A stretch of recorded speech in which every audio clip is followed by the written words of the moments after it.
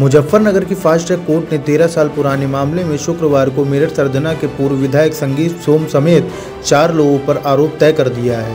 वर्ष 2009 में लोकसभा चुनाव के दौरान सिविल लाइन थाने में संगीत सोम सहित कई के खिलाफ धक्का मुक्की मारपीट समेत अन्य धाराओं में मुकदमा दर्ज किया गया था। कोर्ट ने अगली सुनवाई 6 जुलाई निर्धारित की है।